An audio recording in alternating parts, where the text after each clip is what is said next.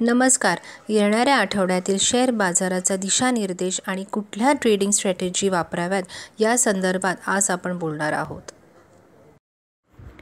जीपेन कॅपिटलच्या यूट्यूब चॅनलचे सदस्य व्हा व शेअर बाजाराचे अद्यावत आणि माहिती मिळवण्याची संधी गमवू नका. गुंतवणुकीवर आपले ज्ञान वाढवण्यासाठी खाली दिलेल्या बेल आयकनवर क्लिक करा. नमस्कार मित्रांनो. ह्या आठवड्यात आपण पाहिलं की निफ्टी हा सतरा हजार आठशे त्रेपन्न ह्या पातळीवर बंद झाला. ह्या आठवड्यात निफ्टीने एकूण दोनशे अडुसष्ट अंकांची चांगली कमाई केली. आणि एकूण टक्केवारीत निफ्टीत एक पूर्णांक बावन्न टक्के वाढ पाहायला मिळाली. ह्या आठवड्याची बाजाराची तांत्रिक निरीक्षणे पुढील प्रमाणे. ह्या आठवड्यात निफ्टीने पुन्हा एकदा उच्च माथा उच्च पायथा ही तेजीची रचना कायम राखून सतरा हजार नऊशे सत्तेचाळीस ही त्याची नवीन सर्वोच्च पातळी बनवली. ह्यावरून बाजारात जबरदस्त तेजीचे चाल कायम असल्याचे निदर्शनास येते. आठवड्याच्या आलेखावर निफ्टीने एक तेजीची कॅन्डल रचना बनवली. ह्यावरून बाजाराचे तेजीचे इरादे स्पष्ट होतात. दिवसाच्या आलेखावर निफ्टीने सीआयपी चेंज इन पोलॅरिटी रचना बनवली. म्हणजेच निफ्टीची आधीची अडथळ्यांची पातळी आता भक्कम आधाराची पातळी बनली. ह्यावरून बाजारात तेजी करणाऱ्या व्यापाऱ्यांची जबरदस्त पकड असल्याचे जाणवते. बाजाराचे महत्त्वाचे दिशादर्शक हे त्यांच्या पासष्ट ह्या पातळीच्या वरती टिकून राहिल्याचे दिसत असल्याने मध्यम कालावधी करता बाजाराचा तेजीचा वेग कायम असल्याचे ध्यानात येते. तांत्रिकदृष्ट्या बाजाराला तात्काळ भक्कम आधार हा सतरा हजार दोनशे चोपन्न हा आहे आणि त्याखाली बाजाराला सतरा हजार पंचावन्न ह्या पातळीवर भक्कम आधार असेल. तसेच वरच्या बाजूस बाजाराला अठरा हजार एकशे अकरा आणि त्यावरती एकोणीस हजार सेहेचाळीस ह्या पातळ्यांवर मोठ्या प्रतिकाराचा सामना करावा लागू शकतो. ह्या आठवड्यात सेन्सेक्सने साठ हजारांचा टप्पा ओलांडून वरिष्ठ नागरिकांच्या श्रेणीत स्थान मिळवले असून निफ्टी हा आता अठरा हजाराच्या थोडासा खाली बंद होऊन तो सुद्धा तारुण्याच्या उंबरठ्यावर उभा आहे.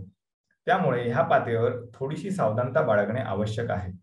सध्याच्या भक्कम तेजीच्या परिस्थितीत गुंतवणूकदारांनी बाजारातील त्यांचे सध्याचे तेजीचे व्यवहार करताना तसेच नवीन तेजीचे व्यवहार करताना सतरा हजार दोनशे चोपन्न ही धोक्याची आधारभूत पातळी त्यांच्या सर्व खरेदीच्या व्यवहारांसाठी निश्चित करावी आणि तेजीच्याच व्यवहारात कायम राहावे.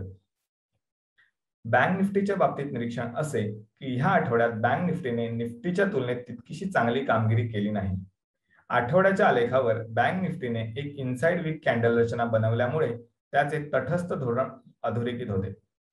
दिवसाच्या आलेखावर बँक निफ्टीने डबल टॉप रचना बनवल्यामुळे उच्च पातळीवर सावधानता बाळगणे गरजेचे आहे.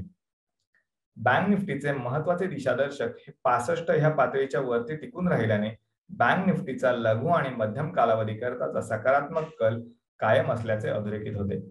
येत्या काळासाठी बँक निफ्टीचा तात्काळ भक्कम आधार हा छत्तीस हजार एकशे एक्कावन्न हा आहे आणि त्याखाली बँक निफ्टीला पस्तीस हजार चारशे अठ्ठावन्न ह्या पातळीवर भक्कम आधार असेल.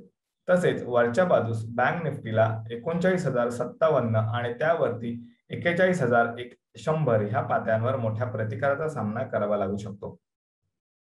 पुढील आठवड्यासाठी आम्ही दोन कंपन्यांचे समभाग खरेदीसाठी सुचवू इच्छितो जे की गुंतवणूकदारांना बाजारात चांगला परतावा देऊ शकतील. त्यापैकी पहिला आहे तो म्हणजे गेल लिमिटेड. हा समभाग एकशे बावन्न रुपये ह्या भावाला खरेदी करून त्याचे पुढील लक्ष एकशे पासष्ट रुपये इतके राहील.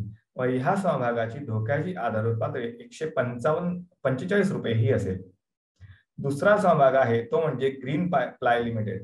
हा समभाग एकशे ऐंशी रुपये ह्या भावाला खरेदी करून गुंतवणूकदारांनी ह्या समभागाची धोक्याची आधारभूत पातळी एकशे त्र्याहत्तर रुपये इतकी ठेवावी. आणि हा समभाग येत्या काळात एकशे अठ्ठ्याण्णव रुपये इतके त्याचे लक्ष गाठू शकतो. तुर्तास येथेच थांबू. तुमच्या प्रतिक्रिया आम्हाला कमेंट बॉक्समध्ये नक्की कळवा.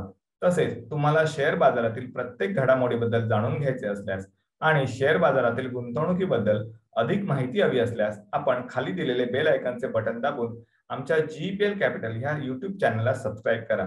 तसेच आम्हाला इंस्टाग्राम आणि ट्विटरवर सुद्धा फॉलो करायला विसरू नका. धन्यवाद. Investments in securities market are subject to market risk. Read all the related documents carefully before investing. Investors must make their own investment decision based on their specific goals, financial position, and risk appetite. The content provided herewith is purely for information and educational purpose only.